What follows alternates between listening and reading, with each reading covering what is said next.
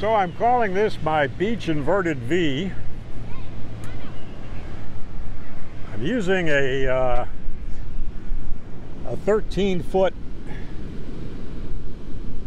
telescopic fishing pole which I got for $15 at Bass Pro Shops.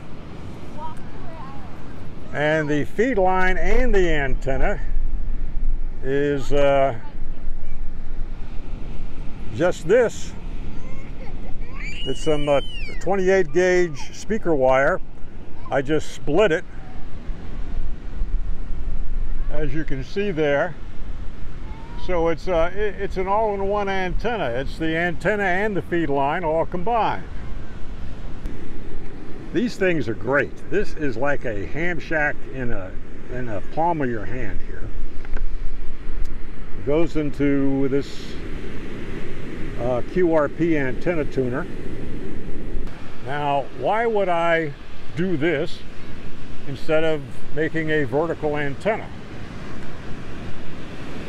Well, the vertical requires radials, and but here on the beach, you got people, and they're going to be walking across your radials. So I prefer this. Uh, a lot of your portable verticals are uh, coil loaded to make them shorter, so that makes them less efficient. And this is a full-sized antenna for uh, for 20 meters. Now, of course, it's it's not nearly high enough. I mean, 13 feet for for 20 meters isn't much. But when you have this as your ground plane, it kind of covers a multitude of sins. So that's my beach inverted V, just an inexpensive telescopic fishing pole held up by those things that beach fishermen stick their fishing poles in. That total investment was less than $30 compared to hundreds of dollars for some of these commercially made portable antennas, many of which use inefficient, power wasting loading coils. One popular commercially made portable dipole antenna which elevates the antenna only about as high as mine, but uses loading coils in each leg of the antenna, costs nearly $500. Now, give me one reason that antenna would work better than mine. Well, how did my beach inverted V work? Well, receive signals were blasting in. F8DGY in France was 599 plus. Now, as for me, I wasn't exactly bending anyone's S meter, but I'll share with you a screenshot from the Reverse Beacon Network.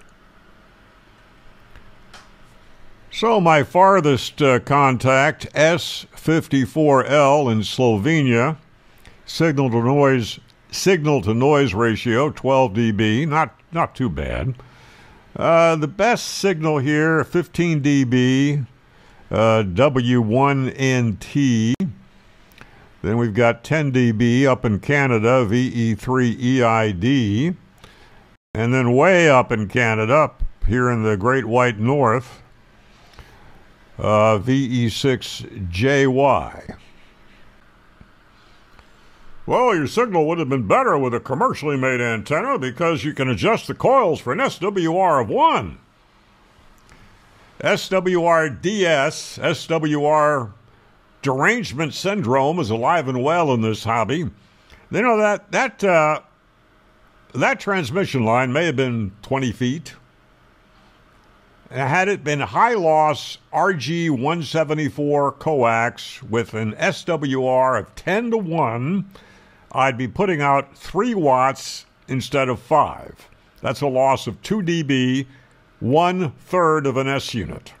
And how much power is lost in those loading coils of other antennas?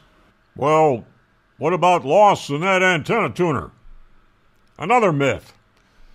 Antenna engineer Tom Rauch, W8JI, has found antenna tuners to be at least 90% efficient.